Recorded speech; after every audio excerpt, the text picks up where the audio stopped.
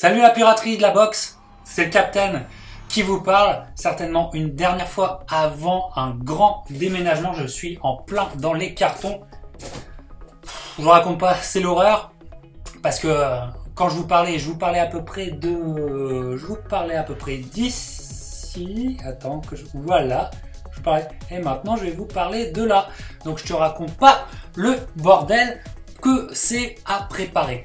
Bref, euh, j'ai 5 minutes, donc j'en profite pour vous faire une petite vidéo, une vidéo spéciale, puisque j'en suis, puisque je suis dans les cartons, une vidéo spéciale lecture. Je suis en train de ranger toute la librairie du Captain Crochet euh, dans des cartons qui vont partir euh, par camion. Alors j'en profite, je vais faire un petit carton avec vous. Allez, on commence à faire le carton et on va mettre dans le carton un de mes derniers achats avec la disparition de Mohamed Ali. Il y a eu plein de numéros spéciaux ici euh, au Canada aux États-Unis. Sport Illustrated qui a fait un tribute de Mohamed Ali.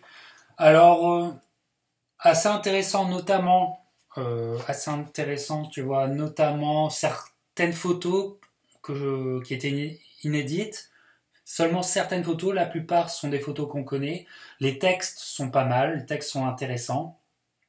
Mais je t'avouerai qu'il n'y a rien de nouveau. J'ai pas été surpris par, euh, j'ai pas été surpris par quelque chose dont je ne connaissais pas sur Mohamed Ali, mais bon, je pense que c'était essentiel de l'avoir. Un collector. Voilà, le Sport Illustrated spécial Mohamed Ali. Euh, il y avait Times aussi, Times Magazine, vous voyez, vous voyez, Ali, là encore, euh, très belle photo, l'objet, l'objet est très très beau, photo qu'on connaît, à part quelques exceptions. Voilà, bien sûr. Voilà, photo qu'on connaît, à part quelques exceptions. Quand vous êtes euh, collectionneur, et amateur de Mohamed Ali, si vous avez déjà quelques livres avec vous, vous ne serez pas surpris. Mais encore une fois, euh, qualité euh, du texte, qualité du texte très très intéressant. Et puis j'ai une pirate de la boxe de Paris qui m'a envoyé le Paris Match sur Mohamed Ali, alors bon, ils ont essayé de faire un effort, voilà, ça reste euh, Paris Match, écrit par Philippe Labro. C'est pas le même niveau, hein, c'est pas le même niveau. Euh, une période qu'il a bien connue, le, Lascar, mais bon, euh, on sent, on sent que t'aimais bien Mohamed Ali, mais c'est pas pour ça que t'aimais bien la boxe. Ça se sent, mais vaut mieux ça que rien du tout. Hein. Donc quand même collector, on sait jamais, euh, dans quelques années, ça vaudra peut-être quelque chose. Voilà, allez, on arrête avec euh, les magazines concernant la, mort de Mohamed Ali, mais on continue. Alors ça, justement, euh, un livre que j'aime beaucoup, le livre Magnum Mohamed Ali qui est sorti il y a quelques années déjà, un recueil de photos paru, je crois qu'il est sorti au début des années 90, un recueil de photos si vous aimez la photographie et Mohamed Ali, euh, bon recueil pour se replonger dans, dans l'atmosphère. Bon recueil, le Magnum. Mais en fait, le Magnum n'est que un petit condensé d'un autre livre que je trouve extraordinaire qui s'appelle Goth, G-O-A-T, The Greatest of All Time, euh, et non pas la chèvre, hein, pas Goth la chèvre. Mais, euh, et ce, ce fameux euh, livre Greatest of All Time, Mohamed Ali, un livre recueil de photos, encore une fois, quelques textes, mais centrés sur la photo, mais qui a un pavé énorme, qui a un pavé, je pense qu'en termes de coût, il doit coûter genre 2000 dollars. C'est un pavé, en fait, c'est un, ça peut être une, euh, une table basse de salon. Et euh, c'est un pavé énorme. Je, l'ai vu une fois, j'ai feuilleté, il est vraiment, il est vraiment énorme. Alors celui-ci est un condensé, c'est un petit condensé qu'on peut pas s'offrir. Goth, celui-ci est vraiment pas mal pour avoir ça reprend un peu euh, toute sa carrière. ça peut aller des années 60 aux années 70. Ça va pas dans les années 80. Mais euh, voilà, intéressant. Mais le petit bijou qu'on ne peut pas s'offrir, le fameux pavé, le petit bijou, moi, que je trouve extraordinaire, on en a parlé un peu dans euh, l'émission spéciale quiz, c'est le Mohamed Ali, c'est la naissance d'une légende, c'est sa période à Miami 1961-1964, deux photographes qui après sont devenus célèbres dans le monde de la photographie, euh, Schulke et Schödel, qui l'ont suivi de 61 à 64 à Miami. À chaque fois, ils s'entraînaient à Miami, vous savez, dans le, gym de Angelo Dundee. Et celui-là, vraiment, recèle de magnifiques photos. C'est centré donc sur vraiment la jeunesse d'Ali. On le voit tout jeune, euh, tout, euh, tout minot, là avec Angelo. la, fameuse, la fameuse série de photos dans la piscine, où il boxe, il fait du shadow boxing dans la piscine. plus les textes, les textes sont faits par les photographes eux-mêmes, et les textes sont magnifiques. Et là, je peux vous dire que j'ai appris des choses. J'ai vraiment appris des choses, j'ai été surpris. La qualité est vraiment indéniable. Euh, les photos sont magnifiques. Et c'est là qu'on se rend compte qu'il y a une modernité malgré tout, euh, même si ça se passe en 62-63, tu vois, séance de sparring, magnifique. Cette, cette, euh, ce livre-là, je ne sais pas s'il est en France, il est édité en France, mais vous pouvez, je pense, le commander. Mohamed Ali, The Birth of a Legend, Miami, 1961-1964 c'est vraiment celui-là, c'est une petite pépite qu'on peut pas, on a un budget limité, mais qu'on veut se faire un petit peu plaisir, qu'on peut pas acheter euh, le pavé. Celui-là, vraiment, vraiment, vraiment bien. Celui-là, j'y tiens, j'y tiens vraiment. Euh, voilà, euh, sur Mohamed Ali. Pour continuer toujours, parce qu'on va continuer toujours sur Mohamed Ali, un autre livre, je ne sais pas s'il a été édité en français, s'il a été traduit, mais je pense que vous pouvez le trouver en France, au Québec aussi, je pense que vous pouvez le trouver c'est Ma View from the Corner. Ma View from the Corner, très très bon livre d'Angelo Dundee. Mais attention, c'est pas Angelo Dundee qui écrit, c'est en fait c'est un dialogue avec Bert Sugar. Bert Sugar, je vous en ai déjà parlé dans une vidéo, un, écrivain de boxe, euh, je pense peut-être la légende des écrivains de boxe. C'est lui, c'est la figure tutélaire des, des écrivains de boxe. Et c'est son dernier ouvrage. C'est un ouvrage, je crois, de 2006 et euh, donc, euh, où euh, c'est en fait toute la carrière d'Angelo Dundee dans la boxe, donc c'est une carrière incroyable. Et ce qu'on peut en dire, c'est qu'il y a une vraie recherche du style, c'est-à-dire du style Angelo Dundee avec quelqu'un qui qu'on peut dire qui avait de la gouaille. On peut dire que c'était une sorte de de d'Audiard de la boxe pour les Américains. Il avait une gouaille, un sens de, un, sens de la formule évident à chaque fois qu'il parlait. Et euh, Bert lui aussi, qui a un sens de la formule, c'est magnifique. Ce, ce livre-là, c'est rempli ce qu'on appelle maintenant un peu vulgairement de punchline. Mais c'est pas des punchlines, c'est plutôt des formules qui font mouche, des formules euh, qui font rire. Euh, vraiment euh, magnifique. Alors, Angelo Dundee, il avait au moment de la parution de ce livre, euh, il avait été un petit peu euh, euh, la publicité autour et c'était Angelo Dundee va vous un peu vous révéler le mystère du, Phantom Punch de Ali contre Liston, la revanche dans le Maine, si vous, vous savez.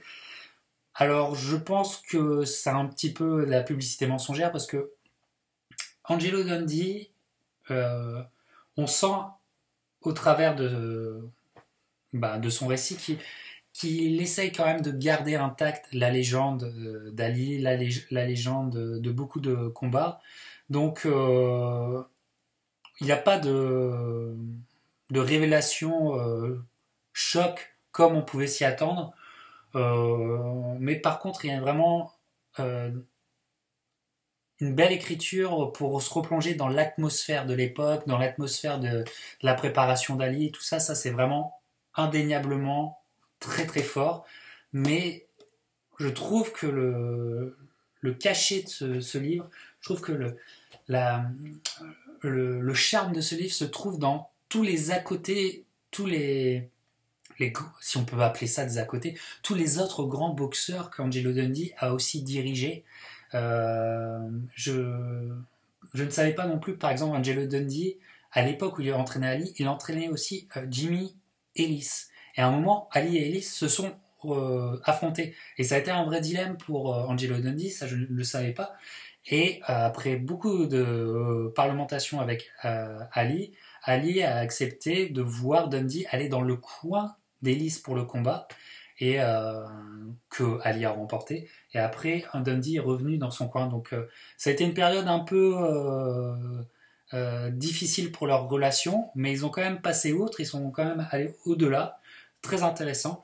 Mais les petites pépites, c'est quand Dundee vous parle de sa relation et de la carrière de Sugar Ray Leonard. Si vous êtes euh, fan de Sugar Ray Leonard, toute cette période à 70-80, Tommy Hearns, Hagler, Leonard, Durand, tous les grands combats qu'ils ont fait, si vous êtes vraiment fan à fond, et je sais, quel que soit vos âges, je sais que ceux qui, me suivaient, quel que soit vos âges, je sais que vous êtes assez à fond sur cette période, et ben en fait, prenez ce livre. Une, fois, une nouvelle fois, je vous rappelle, je ne sais pas s'il est édité en français, s'il est traduit en français, mais même s'il n'est pas traduit en français, n'ayez pas peur, c'est pas grave. Ça se lit bien, même si vous n'êtes pas euh, universitaire en anglais, on n'en a rien à foutre prenez tout votre temps. Effectivement, ça vous, euh, ça vous demandera un peu plus de temps pour le lire, mais de toute façon, il n'y a pas de rush, euh, c'est pas un concours de rapidité, et même en anglais, ça se lit très bien et euh, vous pouvez trouver votre plaisir. Donc, la carrière de Sugar Ray Leonard à travers les yeux de Dundee, ça n'a pas son pareil, c'est vraiment excellent, vous apprenez plein de choses, et je trouve que c'est le, le meilleur moment du livre. Et aussi, un très bon moment du livre, c'est Dundee qui retrouve, 20 ans après Kinshasa, qui retrouve euh, euh, George Foreman et qui va être dans le coin de George Foreman pour la deuxième carrière, deuxième partie de carrière de George Foreman. C'est son combat légendaire contre Holyfield, contre Michael Moorer, contre Tommy Morrison. Il explique tout. Il explique euh, une amitié qui était complètement différente de tous les boxeurs qu'il avait avant, puisque Foreman était déjà plus âgé, c'était mûr était un autre homme, un homme plein de sagesse et, euh, et donc une relation totalement différente qu'ils ont eue. Et je pense que même Dundee avoue, vous voyez qu'il avoue que ça a été peut-être euh, un des moments qu'il a préféré dans sa carrière, c'est s'occuper de George Foreman euh, bah, dans les années 90. Alors que Angelo Dundee, on avait vu des vertes et des pas mûres pendant toute sa carrière et c'est ce qu'il a préféré. Donc petit bijou, Petit bijou, écriture incroyable, vraiment, euh, on se délecte, on se délecte, c'est du bon mot, du jeu de mots, euh, une très très belle vision de ça, et vraiment en complément de ce que je vous avais déjà parlé de, tous les livres de FX Tool, Million Dollar Baby, euh, La brûlure des cordes, Rob Burns, Pound for Pound, coup pour coup, tous ces livres-là peuvent être lus en complément, c'est la même atmosphère. Vraiment génial. Voilà. On continue toujours dans un livre, aussi euh, fait par un Canadien. Donc, euh, hein, c'est un collègue canadien qui a fait ça. il y a déjà plusieurs années, au début des années 2000, 2002. C'est euh, l'écrivain Stephen Brunt de Toronto et qui a écrit un livre Facing Ali donc c'est un road trip au travers du Canada, des États-Unis et de l'Europe, où il part à la recherche, euh, à la rencontre euh, de, boxeurs qui ont affronté Ali chez les pros. Le premier, le premier adversaire d'Ali, retrouve le premier adversaire d'Ali, je crois, euh, c'est en Alabama ou en Oklahoma. Très très beau chapitre. Il retrouve George Chivalo à Toronto. Il retrouve bien sûr euh, Brian London à, Londres. Euh, il retrouve Larry Holmes, euh, George Foreman, Ken Norton et, bien d'autres, Jack Wetner aussi. Et ce livre a été la base, a été la base d'un magnifique documentaire qui est vraiment, à mes yeux, un, un des meilleurs documentaires de boxe, qui a le même titre, Facing Ali, qui est sorti lui plus tard en 2011 ou 2012. Et euh, je vous conseille à tous de voir ce documentaire. Difficilement trouvable sur le net, mais euh, je pense sur iTunes. Moi, je l'ai acheté sur iTunes parce que je l'avais vu à l'époque euh, au cinéma. Et je l'ai acheté sur iTunes. Je pense que vous pouvez le trouver sur iTunes. Et le livre, pareil, je ne sais pas s'il a été traduit en français, mais il est commandable. Et pareil, ça se lit bien, même si on n'est pas. si vous n'êtes pas bilingue, prenez votre temps. Prenez votre temps aucun problème, aucun problème pour le lire. C'est juste, vous prenez votre temps, euh, ça se lira très bien. Facing Ali. Euh, si vous aimez le documentaire, ça c'est un bon complément du documentaire, ça va beaucoup plus loin. euh, et ça se lit très très bien. Facing Ali, encore une pépite que je vous recommande. Alors qu'est-ce qu'il y a d'autre dans la boîte? Alors, ah bah on va arrêter avec, on va arrêter avec les les spéciaux sur Mohamed Ali. Et puis on va prendre ça c'est l'inverse, c'est moi qui ai reçu ce livre, un cadeau familial. J'ai reçu ce livre, euh, ma famille pour elle m'a offert ça, livre de portraits de boxeurs, portrait de boxeurs euh, aux éditions Tana, apparemment une belle, belle maison d'édition parce que sur l'objet, ils, font, ils ont fait un effort et c'est un très bel objet. C'est un très bel objet à prendre dans les mains, euh, à admirer les photos voyez, notre Marcel Cerdan, national, magnifique photo. Le choix des photos euh, est magnifique si vous êtes comme moi amateur de photographie. Euh, vraiment l'objet est génial. L'objet est génial. Et donc, livre qui, en termes de production française, par rapport à ce qu'on a connu dans le passé, là, dans les années 2000, là, il y a eu quelques livres qui sont sortis, c'était vraiment de la merde et je retiens mes paroles parce que franchement c'était vraiment pas terrible. Là, l'objet, les photos euh, sont vraiment magnifiques. Si vous aimez ça, vous pouvez même vous prendre un petit verre de vin et juste feuilleter en soirée quand vous n'avez pas envie de regarder la télé. Ça vaut vraiment le coup. Après, pour des fous furieux, des fanatiques, parce qu'on est vraiment des fanatiques, on est des, des ayatollahs. Euh, dans la piraterie de la boxe. Donc là, par contre, je pense qu'en termes de, texte, ça nous perdra un peu. Ça nous perdra un, tout petit peu, même s'il y a un effort et un effort. C'est écrit par Guy et Sylvie Lagorce. Je ne connais pas, mais Guy et Sylvie Lagorce qui ont, qui ont fait un travail, qui ont été studieux. Qui ont été studieux, mais on sent, on sent que, on sent par petits moments, on sent que qu'ils sont pas c'est pas des férus de boxe et que parfois il y a certaines confusions qui sont faites sur, euh, sur les boxeurs ou sur combien de fois ils, sont, ils ont été champions. Euh, parfois on confond les euh, défenses de titre avec le, gain d'un titre. Enfin, les, des erreurs que font souvent habituellement les, les, ceux qui ne sont pas aficionados et qui doivent écrire dessus. Ils ont fait un énorme travail. Ils ont fait un énorme travail. C'est très très intéressant malgré tout. Mais si vous êtes un fou furieux, vous n'apprendrez absolument rien. Vous n'apprendrez absolument rien et vous verrez les coquilles. Il y a beaucoup de coquilles et vous, vous tomberez dessus. Et je vous connais, euh, les pirates de la boxe. Si vous êtes comme moi, et je sais que vous êtes même pire que moi, euh, vous tomberez sur les coquilles. Malgré tout, c'est un livre que je vous recommande. Quand c'est de la merde, je vous recommande pas. Hein. Vous torcher avec. Mais quand c'est bien, je vous le recommande. Alors je vous le recommande quand même. Euh, Monsieur et Madame Lagorce ont fait un très bon travail.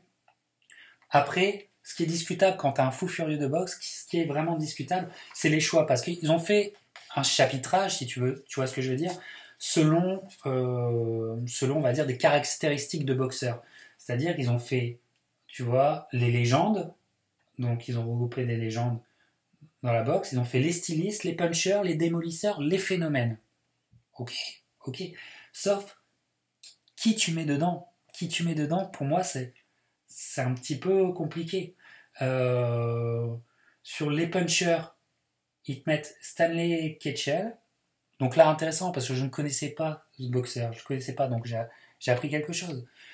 Et euh, après George Foreman, oui. Larry Holmes, puncher, oui, il était puncher, mais est-ce qu'il était reconnu vraiment pour ça? C'était pas le plus grand puncher poids lourd, mais bon. Après, Roberto Durand, Ouais. Et Lennox Lewis pour les punchers. Oui. Tu vois ce que je, tu vois le sentiment anglais, c'est, oui, mais c'est pas, euh, c'est pas une, stature qu'on leur donnait euh, absolument. Ils l'étaient, mais est-ce qu'ils étaient absolument ça? Voilà. Après les démolisseurs, Mike Tyson évidemment, Evander Holyfield. Moi, j'aurais plus, j'aurais plus fait une catégorie guerrier du ring. Oscar de la Hoya, dans Les Démolisseurs. Voilà. Tu ne le mets pas dans les stylistes, tu le mets dans les démolisseurs. Alors, tu peux prendre le point de vue de dire oui, mais bon, de telle période à telle période, euh, il, a, il les a tous mis KO quand il était super léger au début de sa carrière chez les Walter, euh, tout ça. Donc, oui, mais euh, sur l'ensemble de sa carrière, est-ce qu'on le voit peut-être plus comme un styliste? Hein, quand même Donc, tu vois, il y a beaucoup, un peu, un peu, beaucoup de confusion. Beaucoup de confusion qui, forcément, vont un peu rebuter le, fou furieux, les fous furieux que nous sommes. Mais malgré tout, il y a beaucoup de choses intéressantes. Il y a des découvertes. Euh, On parle par exemple d'Eugène Cricri, qui était un boxeur qui avait vécu euh, la Première Guerre mondiale et qui, était, euh, les- qui, a fait partie des gueules cassées, des fameuses gueules cassées de la Première Guerre mondiale. Donc c'est génial de faire un chapitre sur lui. Ça, vraiment, par contre, c'est génial. Même Henry Armstrong, qu'on oublie trop souvent dans le livre de boxe, là, ils refont aussi un chapitre sur lui. Après, je trouve que parfois, ils vont très loin. C'est-à-dire qu'ils vont euh, prendre des, des, euh,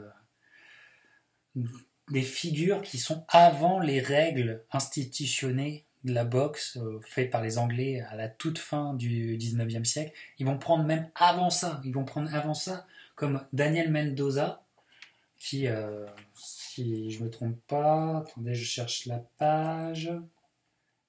Ils nous font Daniel Mendoza, voilà, euh, qui remonte, euh, qui remonte à 1764, sa naissance, et qui meurt en 1836. Donc euh, bon, c'était c'était un combattant, ça arrive dans des, des duels à main nue, mais de là à faire une légende de la boxe, je suis pas, suis pas vraiment convaincu, mais intéressant, intellectuellement intéressant, découverte d'un personnage, mais euh, ça va cher parfois, c'est très alambiqué dans leur façon de remplir leur, euh, leur case, remplir leur chapitre. Mais malgré tout, Tana Édition, la prochaine fois, faites appel à la piraterie de la boxe, on vous fera des très bons textes. Euh, Guy, Sylvie et Lagorce, ils ont fait quand même un très bon boulot. Il y a des coquilles, des coquilles visibles et reconnaissables que par les ayatollahs, les fous furieux que nous sommes. Et par contre, une qualité de l'objet, une qualité des photos indéniable. Et donc rien que pour ça, je vous le recommande. C'est le seul de la production française que je vous recommanderais, mais celui-là, quand même, quand même, il vaut le coup. Voilà. Ensuite, euh, ensuite, autre euh, bouquin, je ne sais pas s'il a été aussi traduit en français. Je crois qu'il a été traduit en français, mais s'il n'est pas traduit en français, comme je vous disais, n'ayez pas peur. Le bilinguisme, ça s'apprend sur le tas, ça s'apprend pas à l'école. Je, peux vous le confirmer, franchement. Moi, j'ai toujours été une quiche en anglais, ben, ça m'empêche pas de vivre en anglais, de travailler en anglais depuis, euh, depuis plus de dix ans. Donc, euh, n'ayez pas peur. On n'est rien à foutre de ce qu'on pense. Donc, encore un livre intéressant. Je pense qu'il a été traduit en français, vous pouvez le trouver traduit en français. Euh, The Domino Diaries. Donc, les très, très bons premiers romans. C'est un premier plutôt. Ça oscille entre l'essai, le roman, euh, le carnet de voyage. Donc, euh, très intéressant si vous aimez, si vous avez la passion comme moi des voyages. Euh, livre qui va vraiment vous plaire. Surtout si vous êtes fou furieux, amoureux de Cuba. Alors si vous êtes amoureux de Cuba, de la culture cu cubaine, de la boxe cubaine, ce livre, il est pour vous. Donc, euh, un reporter qui allait à Cuba à l'époque où encore il y avait l'embargo, c'est un, un, Canadien américain, enfin c'est plus un Américain qu'un Canadien, mais il a les deux nationalités, mais en tant qu'Américain, c'était quand même chaud d'aller à Cuba. Et il a fait ça au début des années 2000. Il est allé à Cuba pour une sorte de, rite initiatique, puisqu'il est fou, amoureux de la littérature d'Hemingway et de boxe. Donc forcément, forcément, c'était c'était un voyage qu'il ne pouvait pas qu'il ne pouvait ne pas faire. Euh, un voyage qu'il ne pouvait pas ne pas faire. Oh là là, les doubles négations, c'est compliqué. Donc, euh, magnifique, je vous conseille. Je vous conseille. Euh, il y a de très bons passages.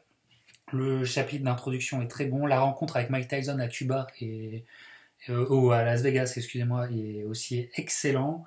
Euh, sa, rencontre avec euh, Rigondo, Guillermo Rigondo qui vient de boxer aujourd'hui, tiens, je fais la, vidéo juste après le combat de Rigondo, aussi excellent. Ensuite, ce que je reprocherais à ce livre, c'est que parfois on est dans le style pour le style, c'est-à-dire que parfois on est un peu dans l'écœurement parce que monsieur veut montrer qu'il sait bien écrire et qu'il est, est un styliste. Donc parfois c'est un peu lourd à force d'être trop dans le style. On a compris mon gars, on a compris, tu, écris bien, euh, mais parfois c'est un peu tellement trop appuyé que tu as envie parfois de passer une page sur certains chapitres. D'autres chapitres sont très très fluides, c'est pour ça que ça oscille, le style aussi. Mais je pense que c'est un petit peu le, l'écueil des premiers romans où tu veux trop en mettre, c'est comme les premiers films. Comme les premiers films, tu veux trop en mettre. Et euh, mais vraiment, je vous conseille, c'est euh, un carnet de voyage si vous aimez voyager, surtout cet été là, si vous avez envie de vous évader, euh, voir Cuba, les femmes cubaines, la boxe cubaine, un petit morito. C'est le livre qu'il faut. C'est le livre qu'il faut. Si vous savez s'il a été comment dire, s'il a été traduit et par quelle, maison d'édition il a été traduit en France, je, serais intéressé de savoir. Et si au Canada c'est par c'est une maison petite maison d'édition qui s'appelle Picador. Voilà, le mec s'appelle Brin Jonathan Butler. Voilà, euh, je pense un, un, juif de Vancouver ou de Toronto. Très bon, il travaille pour ESPN maintenant, ou il a travaillé pour ESPN. Euh, très beau premier livre. Franchement, euh, si vous avez envie de voyager en restant dans le domaine de la boxe, ça sera le, meilleur voyage que vous pouvez faire avec, avec, je vous le dis, les livres de FX Tool. Je les ai déjà mis dans un carton, les livres de FX Tool, je les ai déjà mis dans un carton, mais ça, vous êtes obligé de les avoir. FX Tool, le plus grand écrivain de boxe de l'histoire, tout simplement, période, comme on dit.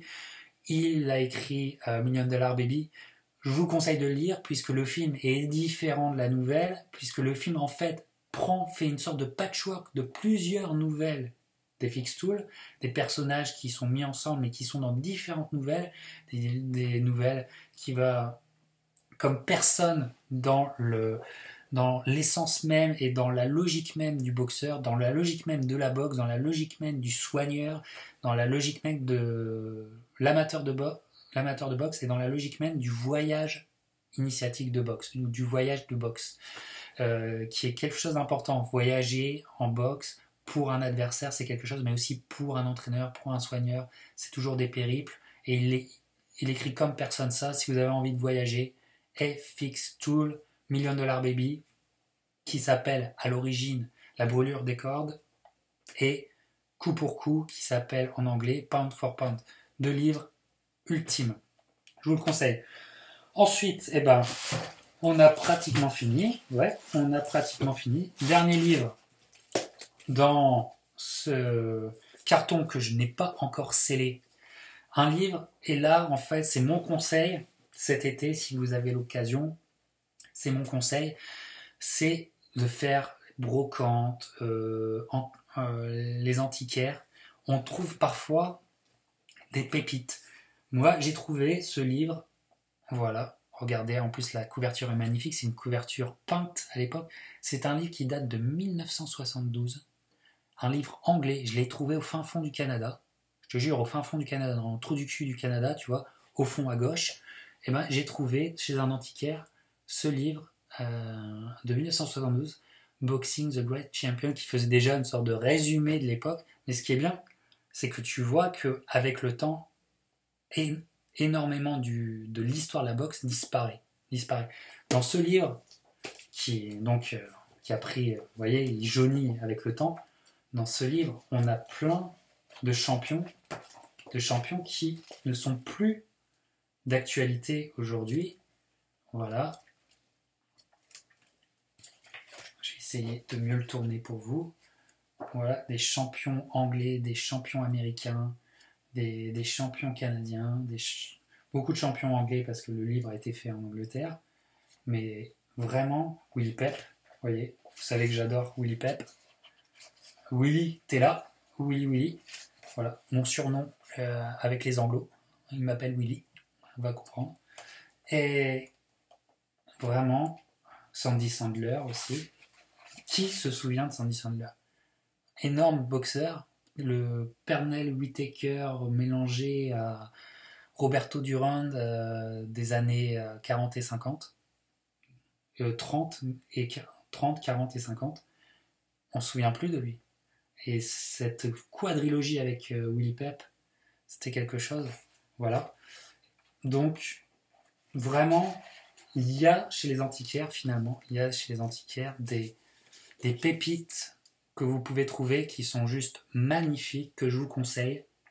Donc, n'hésitez pas à m'envoyer vos photos sur Facebook ou sur YouTube avec euh, les pépites que vous avez trouvées. Ça m'intéresse. Faites partager dans la communauté. On est là pour ça, on adore, on est des collectionneurs invétérés, n'oubliez pas. Voilà pour cette petite séance lecture. Il faut lire les amis, c'est l'été. J'espère que vous avez passé un bel été. Moi, eh ben, je repars dans les cartons. Euh, va falloir me laisser un petit peu de temps pour que je retombe sur mes pieds là où je m'en vais. Ça va prendre un petit moment, le temps de s'installer, trouver notre endroit, trouver un nouveau job, redémarrer, faire rentrer les pépettes, et les vidéos vont redémarrer. Donc, attendez-moi vers, vers septembre, quelque chose comme ça, à la fin de l'été, au début de l'automne. On va redémarrer très très fort. En attendant, moi, j'ai bah, j'ai 3000 bornes qui m'attendent et un camion à remplir. Je vous souhaite le meilleur été possible. On se dit à bientôt. Suivez toujours la, page euh, Facebook, la page YouTube, la page Tipeee. Et puis au passage, les gars, les chroniques vont se développer. On parlera toujours box dans les chroniques. C'est la base, c'est la base de tout, c'est la base de la vie. Donc on en parlera toujours. Mais j'ai envie de développer les chroniques parce que j'ai pas envie de me réduire à parler de la boxe. J'ai envie de parler de cinéma. Enfin, pas de vous parler de cinéma, mais de parler avec vous euh, de films et de films de boxe et de films parfois qui soient autre chose que des films de boxe. Donc, euh, on se donne aucune limite. Euh, si on a envie de parler voyage, de boxe, de cinéma, euh, de francophonie, vu que moi, je peux vous en parler un petit peu en étant si loin, et des, communautés francophones à travers le monde, notamment ici. si ça me prend, comme une lubie, eh ben, je vous en parlerai. Donc, je ferai des vidéos un peu sur tout, sur ma vie et sur mes goûts, de façon plus large. C'est les chroniques du Capitaine Crochet, dans son sens le plus plein, dans son acception la plus grande. Et on parlera, n'ayez pas peur, on parlera quand même toujours de boxe à fond, à fond Léon. Donc euh, peut-être la prochaine fois je vous parlerai d'un film. Il y a tellement de films dont j'ai envie de parler avec vous. Il y a tellement de films dont j'ai envie de parler avec vous. Il y a celui-là, il y a celui-là, il y a celui-là, il y a celui-là, il y a celui-là. Il y a aussi celui-là. Ah ouais. Il y en a tellement, je vous dis, il y en a tellement. Bref, voilà, on va se faire plaisir. L'année prochaine, on se fait plaisir à fond. Voilà, donc boxez bien, profitez de cet été. On se voit bientôt. Sony, ciao, Floyd, à bientôt. Je vais vous mettre euh, dans, un, dans une petite boîte. N'ayez pas peur, les amis. Allez, on se dit à la prochaine. Ciao